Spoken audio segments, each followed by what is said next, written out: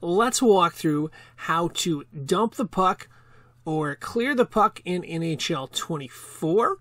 Now, the good news is the controls are going to be the same for both uh, total control and skill stick. However, we might not want to dump the puck into the stands or we might get a delay game penalty.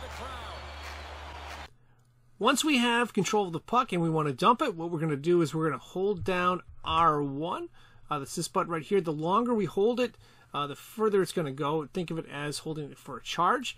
We're going to use the left stick right here to choose the direction we want it to go, preferably straight. And then we're simply going to take the right analog stick and flick it forward, and we will be able to dump the puck right there. The and they clear the defensive zone.